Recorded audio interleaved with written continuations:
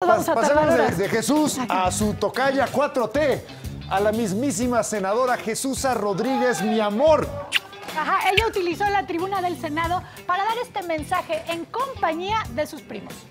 El maíz es una planta humana. Que Oxomoco y Zipactonal adivinen su mensaje. Que hable el maíz, que triunfe la semilla nativa, que hable del abandono del campo, ¡Wow!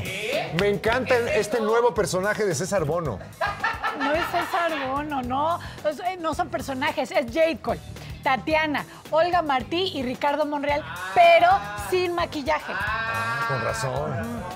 Y, y lo más raro es que dice la planta humana, o sea que el maíz es una planta humana. Eso no existe, ¿qué es una planta que humana? sí, y la planta del pie.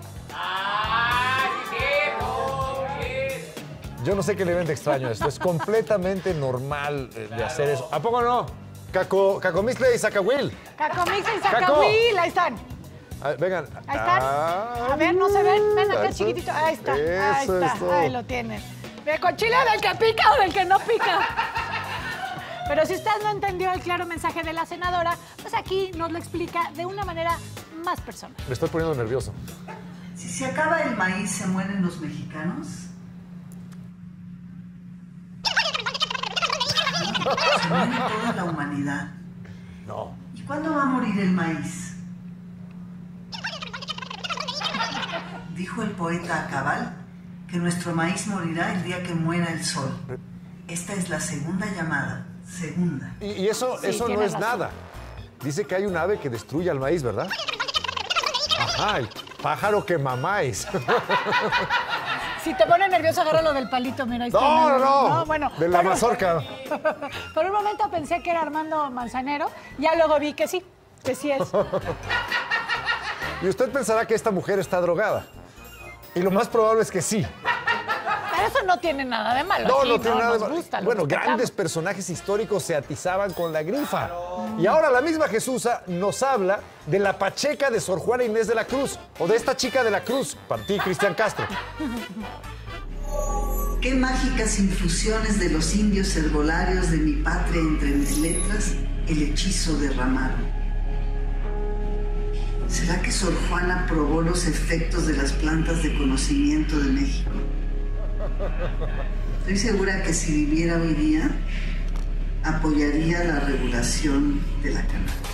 Eso yo también estoy seguro. Muy bien, Jesusa, y muy bien. Y La por- chica de la Cruz. Por supuesto que Sor Juana fumaba mota. Se daba dos gallos, medio pomo de rompope y luego ya se ponía a escribir bien chido. Hombres necios que se fu- os fumáis a la mujer. Y no solo ella. ¿Sabes a quién le encantaba el foco? ¿A quién? A estos güeyes, a, a- a Miguel Hidalgo y Costilla. ¿A ellos tres? Sí, A los tres. A los tres, muy Y bien. Moreno se ponía ácidos aquí abajo del paliacate.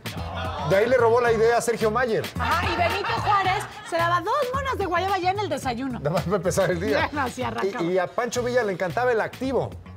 Bueno, no siempre, a veces era pasivo. Sobre todo cuando era Pancho Villa con dos güeyes a la orilla. Oye, ¿Y cómo sabemos que la senadora pues te estimula la hormona? Pues te tenemos un obsequio. ¿A mí? Sí. A ver. Ahí la ¡Ay, tienes. Jesús! Eduardo, es toda tuya.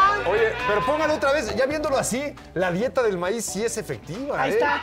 O sea, yo sí andaba haciendo tortillas de ese nistamar. Está bien, ¿no? A esa chucha sí me la bolseaba. A esa Hombre, chuchita. Si quieres te dejo con chucha.